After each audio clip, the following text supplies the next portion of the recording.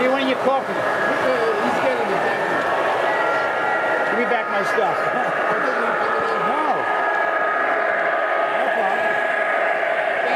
I lost my job before I had it.